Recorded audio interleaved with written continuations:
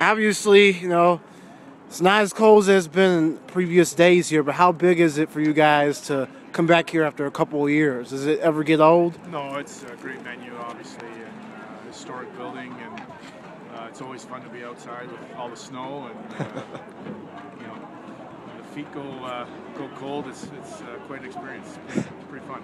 Yeah, exactly. And tell me about like the, the players, the players there uh, here. Tell me about the how, how they feel, you know, about the Well, it's again like I, you know, you, you want to make sure that the guys are having fun, but uh, they're focused on the game. And uh, you know, we got a chance here today for the last 10, 15 minutes to just kind of take it all in and uh, and have some fun. But they're excited about it, and uh, it's a great experience.